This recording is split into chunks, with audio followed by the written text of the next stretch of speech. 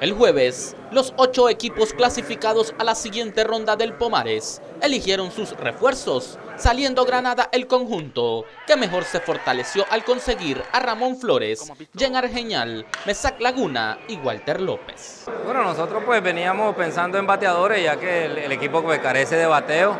El picheo pues ha mantenido bastante durante la temporada regular, esperamos que lo siga haciendo y lo que nosotros veníamos pensando es el bateo y gracias a Dios pues eh, salimos como dicen favorecidos. Pues. Por su parte Rivas fue otro de los que mejor se armó al seleccionar a Hilton Calderón, Chaylon Pucci, Erasmo Reyes y Jaxel Mairena. Pero el conjunto que sorprendió fue Matagalpa al seleccionar como primera escogencia a Juan Blandón. Para mí sí, para mí sí, porque tenemos una lesión de parte de Mena ahorita y va a estar ausente por lo menos 15 a 20 días y eso va a ayudar que Blandón nos venga a reforzar esa, esa posición que vamos a tener sus otros peloteros fueron Armando Montenegro, Norgen Melgara y Michael Contreras, mientras que Masaya eligió picheo al seleccionar a José David Rugama, Ariel Down, Adolfo Flores y Ronald Rivera. En cambio los Dantos se fueron por bateo con Moisés Flores, Arlen Sandoval, Rafael Estrada y Jason Aburto.